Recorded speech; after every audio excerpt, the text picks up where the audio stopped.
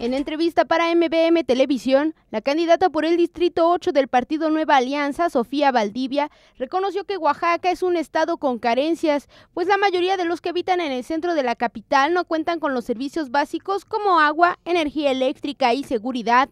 En otros temas, expresó que a diferencia de años anteriores, en estos comicios electorales hay una gran participación de las mujeres en la política oaxaqueña. Yo veo gran participación de las mujeres hoy porque fueron obligados los partidos políticos, pues tienen a mujeres en diversos... Eh, puntos en diversos distritos importantes, porque antes veíamos como periodistas que las mujeres eran, sí, tomadas en cuenta, pero muy igual en el sentido de que les daban distritos donde sabían que la iban a perder.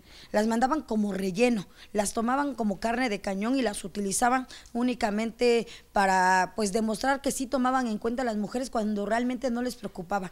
Hoy al menos en el Partido Nueva Alianza yo he visto que sí hay una preocupación porque las mujeres ocupemos eh, distritos o vayamos por distritos importantes donde podemos dar la pelea.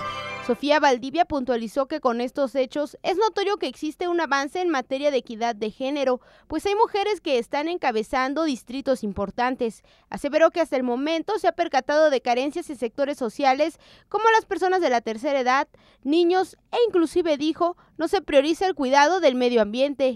Me he encontrado abuelitos abandonados, abuelitos que hasta son golpeados por sus hijos. Yo creo que debemos hacer algo por nuestros abuelos, debemos hacer algo también por los niños, evitar que se dé estas agresiones contra los pequeños, como lo vimos hace unos días, de un bebé de siete meses que fue pateado, golpeado por su padre. Yo creo que hay una falta de valores terrible con la que me he encontrado y eso me duele, me duele mucho porque yo creo que desde la raíz, desde la familia, inician los valores para tener ciudadanos comprometidos y ciudadanos que quieran un cambio en el país. Con esta pérdida de valores, yo creo que no vamos a llegar a ningún lado. El tema del cuidado de los animales tiene que ser un tema para todos los ciudadanos, ciudadanos y todos los oaxaqueños y todo el país y en todo el mundo dar la cara por esos animalitos y por todos estos sectores vulnerables que poco se preocupan. Con imágenes de Rafael Vargas, reportó para MBM Televisión, Vicky Ramírez.